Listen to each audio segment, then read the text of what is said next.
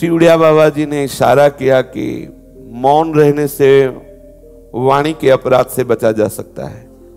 उपासक को जो सतमार्ग पर चलने वाला है, वाणी पर विशेष ध्यान देना चाहिए, क्योंकि वाचालता, दूसरे की गुण दोष का वर्णन, ये हमारे भजन को बाधित कर देता है। अधिकतर साधक से अपराध वाणी के द्वारा बनते हैं। वो किसी की निंदा कर देता है, किसी वैष्णव में दोष दर्शन कर लेता है और उसका वाणी के द्वारा वर्णन करता है या अपने आराध्य देव के विपरीत प्रपंच वार्ता करता है, ये सब वाणी से बहुत अपराध बन जाते हैं जिनको हम अपराध मानते नहीं। इसलिए इशारा किया पूज्य पादुड़िया बाबा ने कि पंडित जी, मौन से वाणी के अपराध से बचा जा सकता है।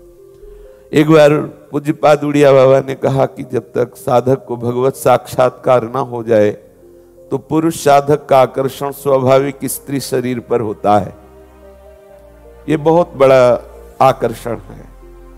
जैसे जड़ चेतन की ग्रंथि ना बंधने पर भी बंधी हुई है, यद्यपि मृषा छूटत कठिनाई, ऐसे ही स्त्री दर्शन, स्त्री संभाषण, स्त्री सहवास ये जीव की अविद्या की ऐसी मोटी ग्रंथि, जड़ चेतन ग्रंथि के ऊपर बंधी हुई है कि जब तक इसे नहीं खोलेगा, तब तक वो जान ही नहीं पाएगा कि जड़ चेतन की ग्रंथि क्या है, ये चित जड़ क्या है, चेतन जड़ का क्या संबंध है, क्या बंधन है।